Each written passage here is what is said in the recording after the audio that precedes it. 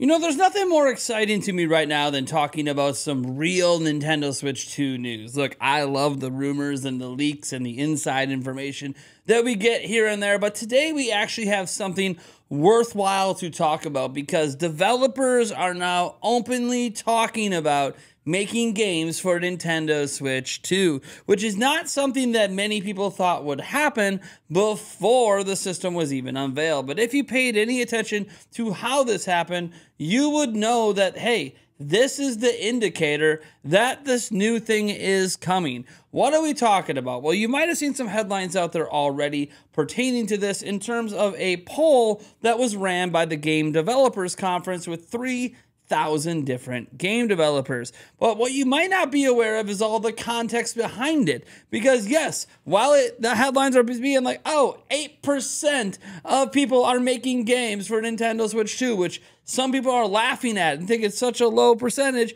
We have a bunch of context about how this 8% is actually insane and shows massive growth with Nintendo among third party developers. In fact, Nintendo Switch 2 is setting up to be absolutely incredible. So let's get to the data. So first off, this is a PDF file you have to sign up for on their website, on the, on the game developer conference's website to get. And this is uh, for this year, as you see, 2023. And it says, which platforms are you de- currently developing projects for? Now, you'll notice PC is the most common. So, you know, you figure there's a lot of indie developers in here. But I think if you scroll up here, you could see uh, this is the type of people in it. So 32% are indie developers, 18% are AAA, AA, etc. All the other stuff, education, co-development, all that stuff. But when you get down into here, it's interesting because you'll see PlayStation 5 is at 35% of the people polled, so 3,000 people. Xbox Series X and S are at 34%.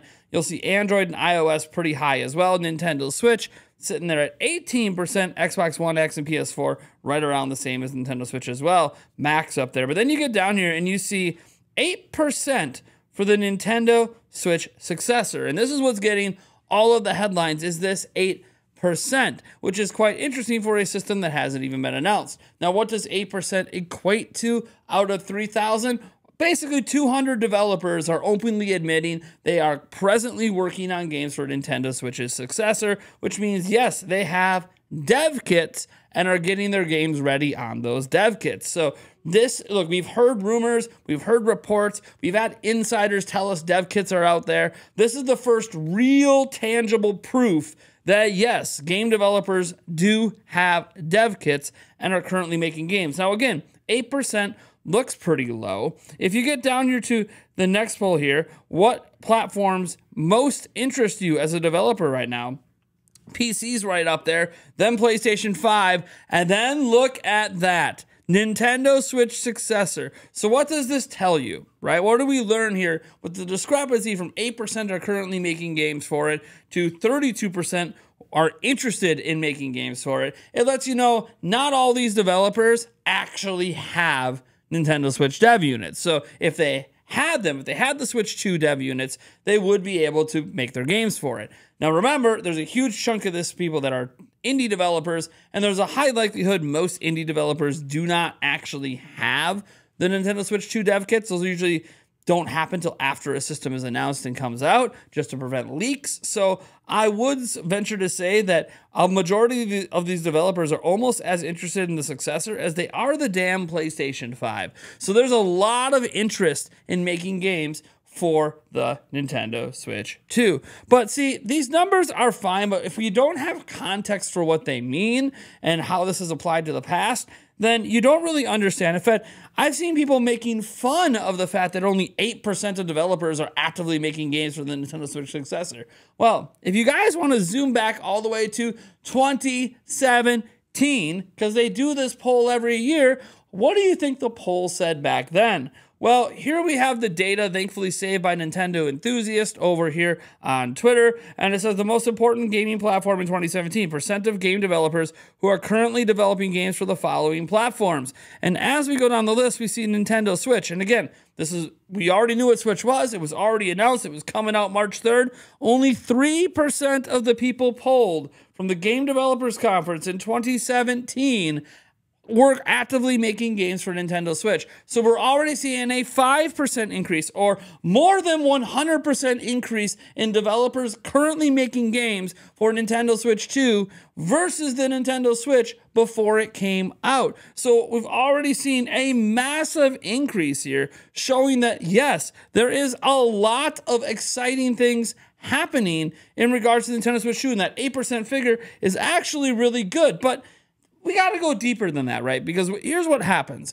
Well, 3%, 8%, they're both pretty pathetic, right? Blah, blah, blah, blah, right? That's what we're going to hear. Well, what if I were to tell you this isn't that far off from literally the PlayStation 5 and Xbox Series X back in 2020? Here is the exact same poll from 2020. So this is before PlayStation 5 was announced. The Xbox Series X was already announced in December previous to this. And why don't we take a look at this? We're seeing Xbox One, uh, we're seeing PC really up there, mobile way up there, PlayStation 4 and Pro, Nintendo Switch is even up there at 17%. Oh man, where is everyone else? Oh, here's PlayStation 5.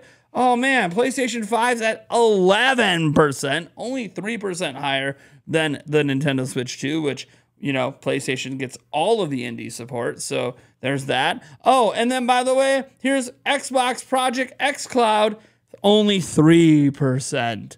Xbox Scarlett, 9%. So their xCloud, their streaming services, not that much interest, about the same as Switch in terms of Xbox Project Scarlett or Xbox Series X and S. We didn't know about the S at the time.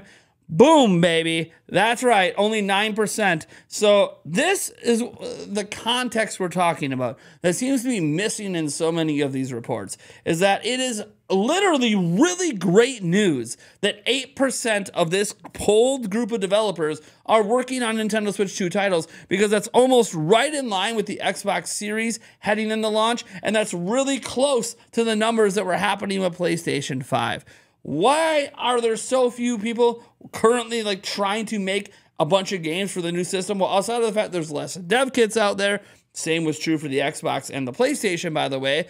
The reality is, a lot of companies don't want to bring their games to a new platform until it has an install base. So you always see after the system launches, there's even more interest. And then even a year after that, there's even more interest in terms of people currently making games for the platform. Again, more dev units out there, more units being sold to consumers, more interest from developers to make games for an actual consumer base that exists rather than a hypothetical consumer base. So that is really what we have to focus on here is how great this news really is for the Nintendo Switch 2 successor. Yes, of the 3,000 polled, 200 of them are literally making games right now for Nintendo Switch 2. And this actually falls right in line with what was happening with PlayStation 5 and Xbox Series. And then ignoring all of that, it's literally over 100% growth in the interest that was happening with the original Nintendo Switch. So nothing about this is bad. This is all really great news. And it does show that Nintendo Switch 2 is about to get significant third party support, even more than the literal Nintendo Switch did. So, literally, this is nothing but great news. It's all great news all around for Nintendo Switch 2. Also, this is just a fun one. For anyone that still keeps pretending the system doesn't exist, it's all rumors, it's all reports. Nintendo hasn't announced it. Well, you know what? Developers are literally answering a poll saying directly they are working on games right now for the Switch successor. You think they could say that if it didn't exist? Come on now. This isn't about an interest in a hypothetical. This is literally they are making the games now. So, yeah, this is also, if you want to look at another way, a little bit of evidence that the system's probably coming this year. I just want to throw that out there. You saw all those other polls, those percentages, those were all the same year systems came out. So, yeah, um, pretty good chance that because 8% of people are making games for it, that it's actually coming this year. Anyways, guys, thank you so much for tuning in. I am Nintendo Gents from Nintendo Prime. I'll catch you in the next video.